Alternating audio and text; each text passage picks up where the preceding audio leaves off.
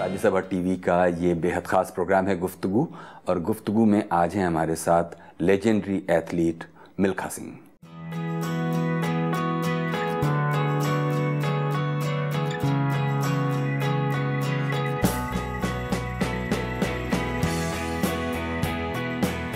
Milkha Singh.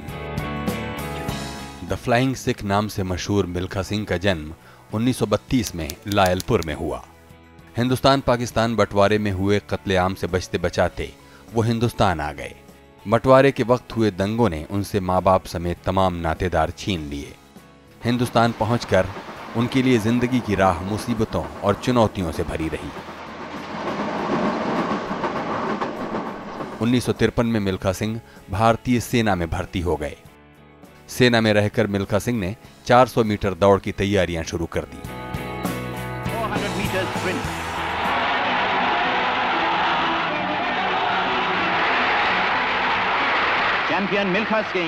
انیس سو ستاون اٹھاون میں ملکھا سنگھ نے کئی ریکارڈ اپنے نام کیے۔ ٹوکیو ایشیائی کھیلوں میں بھی انہوں نے چار سو اور دو سو میٹر کی دوڑ میں ریکارڈ بنایا۔ کارڈف میں انیس سو اٹھاون کے کامن ویلتھ کھیلوں میں انہوں نے چار سو میٹر کی دوڑ کا گولڈ میڈل جیتا۔ اس دوڑ کے بعد پوری دنیا میں ملکھا سنگھ کے نام کا ڈنکا بجنے لگا۔ انیس سو ساٹھ کے روم اولمپک میں میڈل نہ لا پانے کا پچھتاوا آج بھی ملکھا سنگھ کو سالتا ہے۔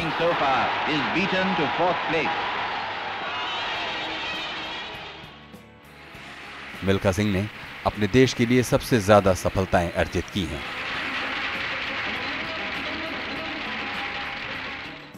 اسی انتراشٹری دوڑوں میں ستہتر دوڑیں جیت چکے ملکھا سنگھ آج ایک لیونگ لیجنڈ ہیں۔ ملکھا جی بہت بہت سواگت ہے پروگرام میں۔ Thank you very much ji بہت خوشی ہے کہ آپ میرے گھر پہ آئے ہیں۔ ہمیں بھی بہت خوشی ہے بے حد خوشی اور بہت شوق کے ساتھ ہم آپ کے سامنے حاضر ہیں۔ ہمیں بتائیے کہ زندگی کا جو میدان آپ نے چنا وہ کھیل کا میدان ہے۔ اور کھیل میں ہار اور جیت برابر اس کی امید بنی رہتی ہے۔ اور اسی کو کہا جاتا ہے کہ آپ اسپورٹنگ اسپرٹ سے کھیلے۔ آپ کی جیتوں کے بارے میں ہم نے تو سب پوری دنیا نے سنا ہوا ہے۔ ہمیں اپنی ہاروں کے بارے میں بتائیے۔ پہلی بات تو یہ ہے کہ آپ کا ویسے تو بیسوں چینل ہیں یہاں ہندوستان کے اندر مگر جو آپ کا چینل کبھی کبھی مجھے سننے کا موقع ملتا ہے تو مجھے مزہ آ جاتا ہے سن کے۔ جی شکریہ۔ میں آپ کو صحیح بتا رہا ہوں۔ جی جی جی۔ کہ آپ صحیح سٹوری ہندوستان کی جو ہے وہ بتا دیتے ہیں۔ اب بات یہ ہے کہ بھی ملکھا سنگھ کا جیون جو ہے کھلی کتاب ہے۔ جی۔ اگر آج میں اپنے جیون کے بارے میں کہوں تو میں کہتا ہوں کہ یہ ساری چیز فضول ہے۔ کیونکہ کوئی بھی انڈین ایسا نہیں چاہے کوئی آسٹریلیا میں رہتا ہے انگلینڈ میں رہتا ہے امریکہ میں رہتا ہے کہیں بھی رہتا ہے ان کو ملکھا سنگھ کے جیون میں جیون کے بارے میں معلوم ہے۔ جی۔ تو اب بات یہ ہے کہ ملکھا سنگھ کا جیون تو بیت گیا۔ جو میرے ٹائم کے لوگ تھے وہ اچھی طرح سے جانتے تھے۔ جو ایٹی سے اوپر ہیں یا ایٹی کے آس پاس ہیں ان کو معلوم ہے کہ ملکھا سنگھ نے کتنا ہارڈ ورک کیا اور کس طرح سے وہ اوپر آیا۔ مگر جو آج کل کی جنریشن ہے ان کو ملکھا سنگھ کے بارے میں جو لوگ سکسٹی سے نیچے ہیں جو پارٹیشن سے پہلے پیدا نہیں ہوئے پارٹیشن کے بعد پیدا ہوئے ان کو نہیں معلوم کہ ملکھا سنگھ کا جیون کس طرح سے بنا اور کس طرح سے گزرا۔ جی جی۔ تو تو اسی لیے اسی لیے چونکہ یہ باتیں آپ نے بار بار دہرائی ہوں گی ٹی وی چینلوں کے سامنے اخباروں کے سامنے دوسرے دیگر جگہوں پر آپ نے اپنی کتاب بھی پوری لکھ دی ہے۔ لیکن یہ موقع ہے جس کے ذریعے ہم پارلیمنٹ کے چینل کے اس چینل کے ذریعے دور دور تک اتنا بڑا وشال لوک تنتر ہے جس میں دور دور تک لوگ سیٹلائٹ کے ذریعے اور کمپیوٹر کے ذریعے ٹیلی ویژن دیکھ رہے ہیں۔ آپ ہمیں ایک سرسری طور پر اپنی زندگی کے شروعاتی برسوں کے بارے میں بتائیے۔ میں آپ کو یہ کہنا چاہتا ہوں کہ آپ شعر و شاعری کے اندر بلیو کرتے ہیں کہ نہیں؟ شعر و شاعری بھی جی بالکل بلیو کرتے ہو جی جی ضرور۔ تو ایک اردو کا شعر آپ کو سناتے ہیں ہم۔ وہ یہ ہے کہ ہاتھ کی لکیروں سے زندگی نہیں بنتی۔ ہاتھ کی لکیروں سے زندگی نہیں نہیں بنتی۔ ہاتھ کی لکیریں اگر آپ جوتشی کو جا کے دکھلاؤ تو جوتشی جو ہے آپ کو دنیا سے بڑے سے بڑا آدمی بنا دیتا ہے۔ وہ کہتا ہے جی آپ پرائم منسٹر بن جاؤ گے آپ منسٹر بن جاؤ گے آپ ڈاکٹر بن جاؤ گے آپ انجینئر بن جاؤ گے۔ یہ شعر جو ہے ہر فیلڈ کے اندر لاگو ہوتا ہے۔ چاہے کوئی ڈاکٹر ہے چاہے کوئی انجینئر ہے چاہے کوئی پولیٹیشین ہے چاہے کوئی سپورٹس مین ہے۔ یہ شعر ان پہ لاگو ہوتا ہے۔ وہ شعر یہ ہے میں کمپلیٹ کرتا ہوں پھر اس کا مطلب آپ اپنے آپ نکالیے گا اور میں بھی بتا دوں گا آپ کو۔ وہ یہ ہے کہ ہاتھ کی لکیروں سے زندگی نہیں بنتی۔ عزم ہمارا بھی کچھ حصہ ہے زندگی بنانے میں۔ جی۔ عزم اردو کا لفظ ہے آپ تو اردو جانتے ہیں۔ جس انسان کے اندر ول پاور ہے جس انسان کے اندر ہارڈ ورک کرنے کا مادہ ہے جس انسان کے اندر ڈسپلن ہے کریکٹر ہے وہ انسان جو ہے زمین سے اٹھ کے آسمان کو چھو سکتا ہے۔ بہت اچھی بات کہتے ہیں آپ۔ اور وہ انسان جو ہے زیرو سے ہیرو بن سکتا ہے۔ ملکھا سنگھ کی مثال آپ کے سامنے ہے۔ آج آپ کے سامنے بیٹھا ہے۔ ساری دنیا میں ملکھا سنگھ کا نام ہے۔ کیوں؟ کہ ملکھا سنگھ موت سے لڑا ہے۔ ملکھا سنگھ کے اندر ول پاور تھی۔ ملکھا سنگھ کے اندر ہارڈ ورک کرنے کا مادہ تھا۔ وہ اس نے کیا اور بن کے دکھایا۔ اب اولمپک گیمز ہوتی ہیں ایشین گیمز ہوتی ہیں کامن ویلتھ گیمز ہوتی ہیں۔ آپ حیران ہوں گے میں آپ کو یہ بات سنانا چاہتا ہوں کہ جب سے ہمارا دیش آزاد ہوا ہے نائنٹین فورٹی سیون سے لے کے آج تک ہندوستان کے اندر اتھلیٹک کی بات کر رہا ہوں رننگ کی بات کر رہا ہوں۔ ہندوستان کے اندر صرف پانچ چھ کھلاڑی ہوئے ہیں جو فائنل میں پہنچے ہیں مگر دیش کے لیے میڈل نہیں لے پائے۔ میڈل ہمارے ہاتھ سے گر گیا۔ ملکھا سنگھ پہلے نمبر پہ۔ نائنٹین سکسٹی روم اولمپک میں دوڑا۔ اور لوگ یہ کہتے تھے ساری دنیا کو معلوم تھا کیونکہ جب دوڑنے سے پہلے آپ کا ریکارڈ بن جاتا ہے۔ میں نے ایٹی انٹرنیشنل ریسز ساری دنیا میں دوڑی۔ اور ایٹی میں سے سیونٹی سیون جیتی۔ تو ساری دنیا کو یہ یقین تھا کہ اگر روم اولمپک کے اندر نائنٹین سکسٹی کے اندر چار سو میٹر کے اندر کوئی گولڈ میڈل جیتے گا تو صرف انڈیا کا ملکھا سنگھ وہی جیتے گا اور کوئی نہیں جیت سکتا۔ بھروسہ ہو گیا تھا ساری دنیا کو۔ کیونکہ آپ ایٹی انٹرنیشنل ریسز دوڑتے ہیں اور ایٹی میں سے سیونٹی سیون جیت جاتے ہیں تو سب کو معلوم ہوتا ہے کہ یہی آدمی جیتے گا اور کوئی نہیں جیت سکتا۔ تو یہ میری بیڈ لک تھی۔ انڈیا کی بیڈ لک تھی کہ وہ گولڈ میڈل میرے ہاتھ سے گر گیا۔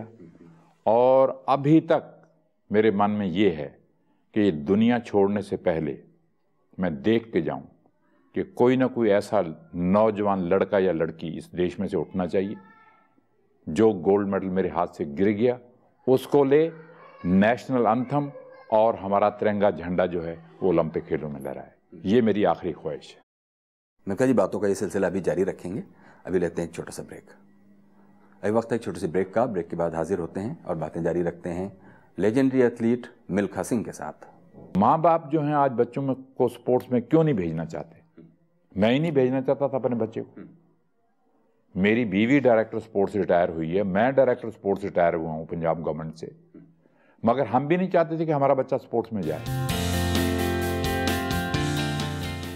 سواگت ہے ایک بار پھر سے۔ آپ دیکھ رہے ہیں گفتگو ہمارے ساتھ ہیں لیجنڈری ایتھلیٹ ملکھا سنگھ۔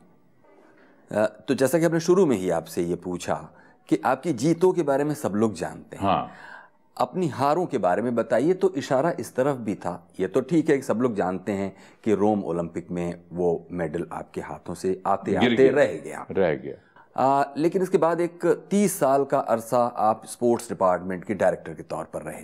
وہاں بھی آپ کی جو کوششیں اور کاوشیں تھیں ان میں بھی کچھ آپ کو ہار کا سامنا کرنا پڑا جو آخر کار آپ اپنی اس لمبے نوکری اور اپنے اس ڈائریکٹرشپ کو جب ایسس کرتے ہیں تو آپ پاتے ہیں کہ وہ ساری کوششیں جو کی گئی تھیں وہ ایک طرح سے واپس بیک ٹو زیرو ہو گئی۔ دیکھو بات یہ ہے کہ as director of sports Milkha Singh کی جو جس جتنی حد تک میں جا سکتا تھا۔ کیرون صاحب مجھے یہاں لے کے آئے۔ میں آرمی میں تھا۔ میں جتنا بھی کریڈٹ ہے وہ آرمی کو دینا چاہتا ہوں۔ اگر آج دیش کا نام اونچا ہے ساری دنیا میں، اگر آج ملکھا سنگھ کا نام ساری دنیا میں ہے، تو وہ کریڈٹ جو ہے آرمی کو جاتا ہے۔ تو آرمی میں میں تھا، مگر یہاں پہ اس ٹائم چیف منسٹر جو تھے پنجاب کے پرتاپ سنگھ کیروں۔ آپ جانتے ہیں نا؟ جی۔ کیروں صاحب جیسے چیف منسٹر میرا نہیں خیال کہ پنجاب کو کوئی ملا ہے۔ میں کہوں میں تو دیکھتا آ رہا ہوں کافی دیر سے دیکھتا آ رہا ہوں۔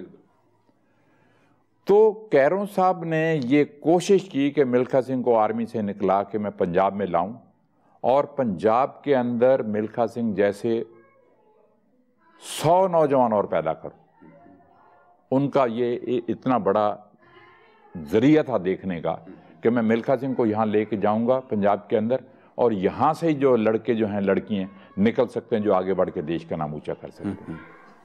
آرمی مجھے چھوڑنا نہیں چاہتی تھی۔ اب جس جو بچہ جس گھر میں پیدا ہوا ہو، کون ماں باپ ہیں جو جانے دیں گے اس کو؟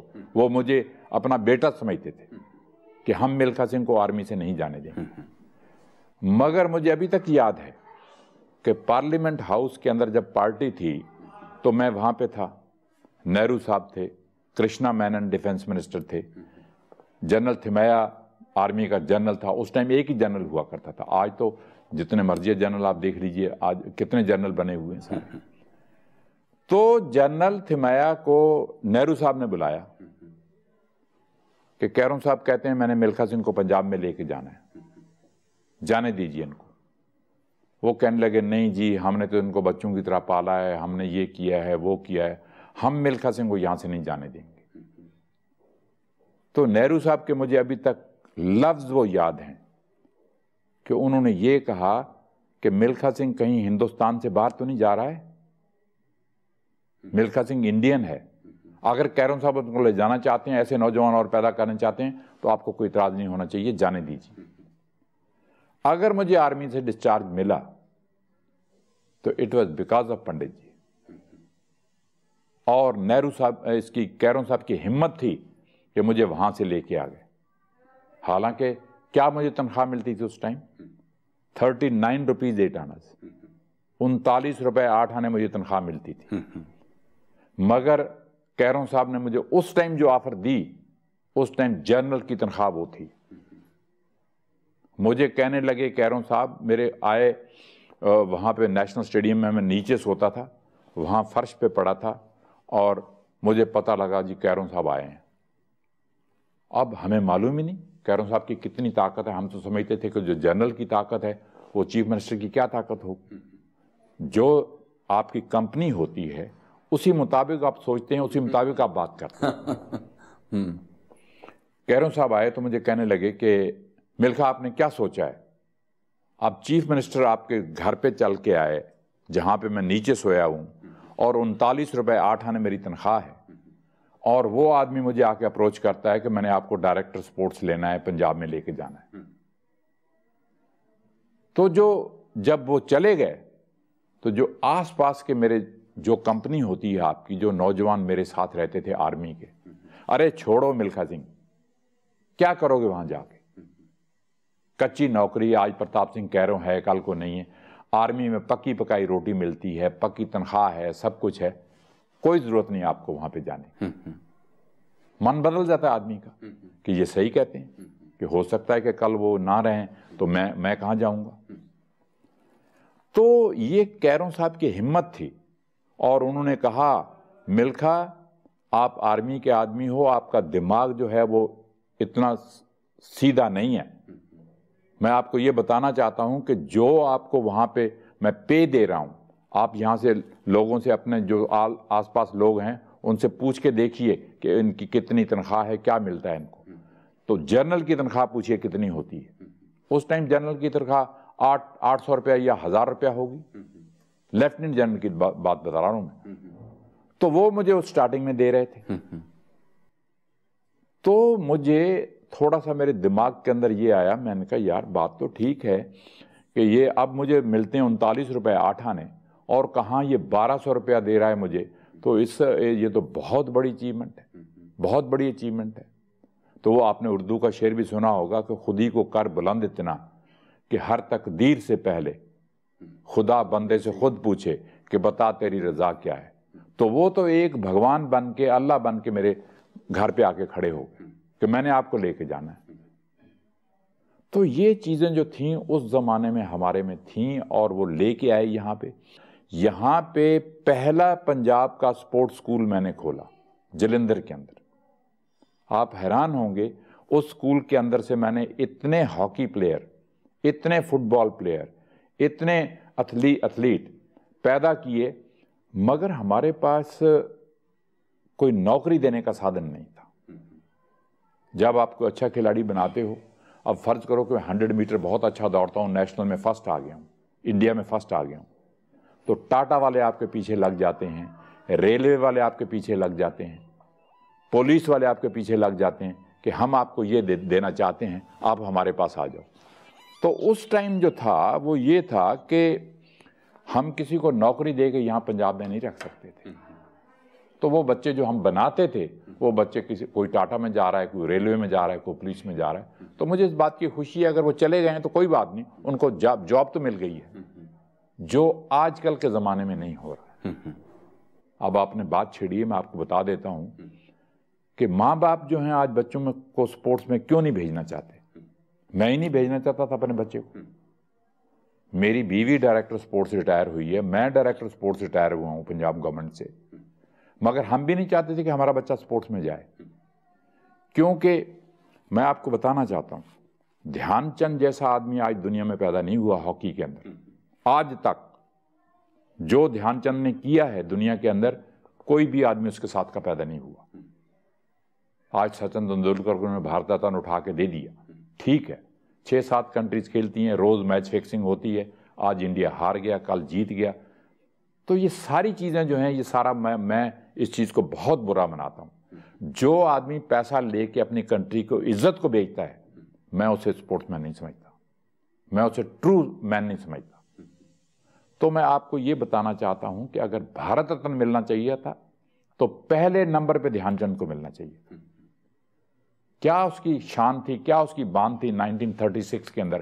آپ تو پیدا بھی نہیں ہو تھرٹی سکس میں ہٹلر نے کہا تھا اسے کہ دھیان چاندی، انڈیا کو چھوڑو اور یہاں پہ آ جاؤ۔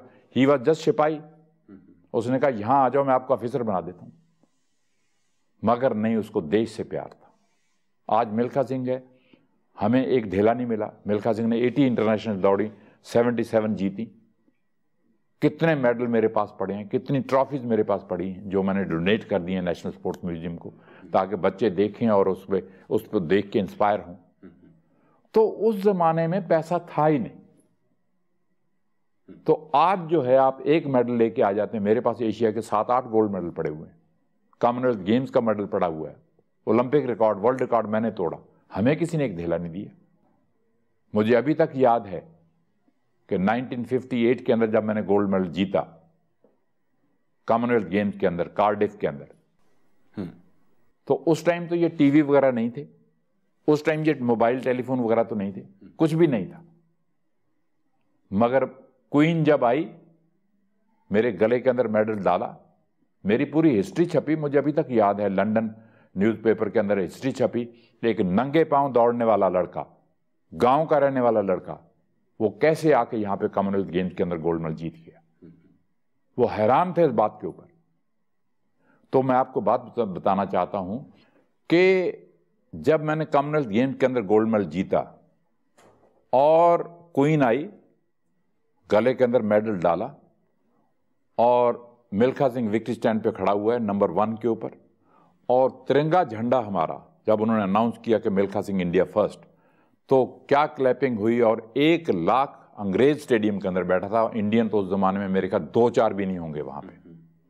ففٹی ایٹ کی بات بتا رہا ہوں۔ جی۔